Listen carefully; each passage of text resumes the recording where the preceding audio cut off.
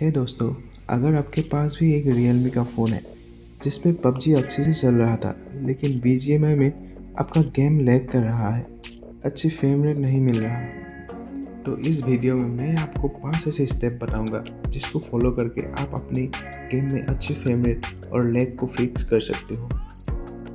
Hey welcome I am Jyotish and this is your Jyotish battleground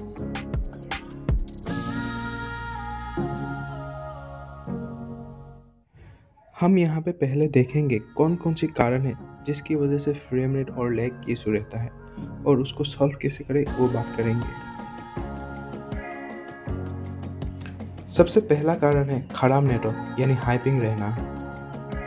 यही एकमात्र कारण है जिसकी वजह से हमारा लैग होता है। बाकी जितना भी कारण है उसकी वजह से तो हमारा फ्रेम ड्रॉप होता है।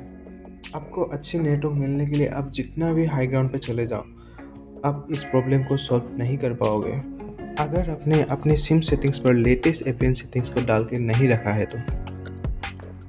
अक्सर ऐसा होता है, हमारा नेटवर्क कंपनी खुद की सर्विस को इम्प्रूव करने के लिए वो अपना एपीएन सेटिंग्स को अपडेट करते रहते हैं। कभी बार इस चीज़ की खबर हमको नहीं मिलता, जिसकी वजह से हमारा नेटवर्क स्लो चलता है। आपको ये वाला सेटिंग्स गूगल पे भी मिल जाएगा, लेकिन वहाँ पे अपडेट नहीं रहता, इसलिए आपको ये वाला सेटिंग्स कस्टमर केयर को कॉल करके ही लेना चाहिए। इस स्टेप को फॉलो करने के बाद आपको ज़रूर अच्छी नेटवर्क मिलेगा।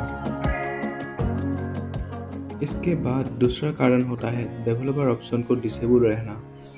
डेवलपर ऑप्शन डिसेबल रहने की वजह से हमारा मोबाइल फ़ोन गेम की परफॉर्मेंस को एक लिमिट तक रोक के रखता है, जिसकी वजह से हमें अच्छी फ्रेम रेट नहीं मिल पाता। अगर आपके फ़ोन में डेवलपर ऑप्शन अनेबल नहीं है, उससे पहले अनेबल कीजिए। अगर आपको पता नहीं है उसको कैसे अनेबल करना है तो आप सेटिंग्स पे जाइए, उसके बाद अबाउट पूर्ण सेक्शन पे जाइए, उसके बाद ड्यूल नंबर को सिक्स टाइम टैप कीजिए, और यहाँ पे आपका डेवलपर ऑप्शन अनेबल हो जाएगा। इसके बाद आप डेवलपर ऑप्शन में जाके गेम ड्राइवर प्रेफरेंस को खोल लीजिए। यहाँ पर अनेबल फॉर ऑल एप्स में गेम ड्राइवर को सिलेक्ट कीजिए। इसके बाद बेटल ग्राउंड इंडिया को गेम ड्राइवर में सेट कीजिए। और यहाँ पे डेवलपर ऑप्शन सेटिंग्स का काम हो गया।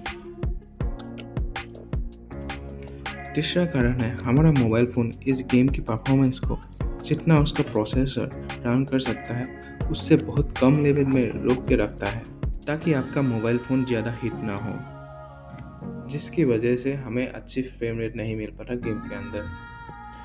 हमें अपने मोबाइल फ़ोन के प्रोसेसर को उसके लिमिट तक पुश करवाने के लिए हमें जी टूल का यूज़ करना चाहिए।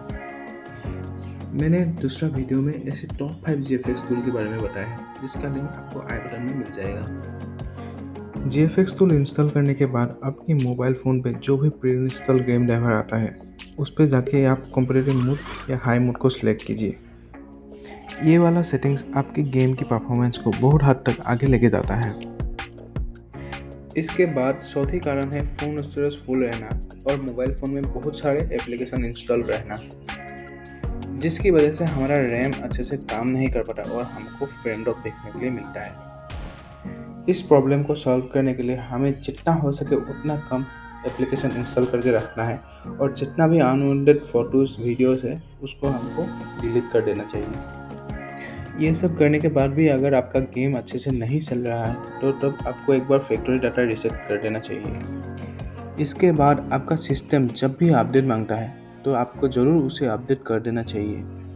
कारण हर एक अपडेट में हमारे मोबाइल की स्पीड और सिक्योरिटी फीचर्स दोनों इम्प्रूव होता है।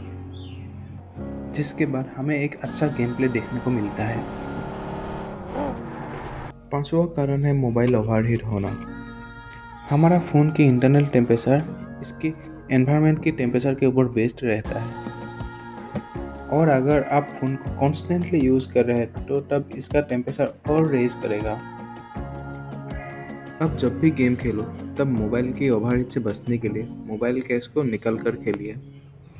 और बैकग्राउंड में किसी भी एप्लीकेशन को रन होने मत देना।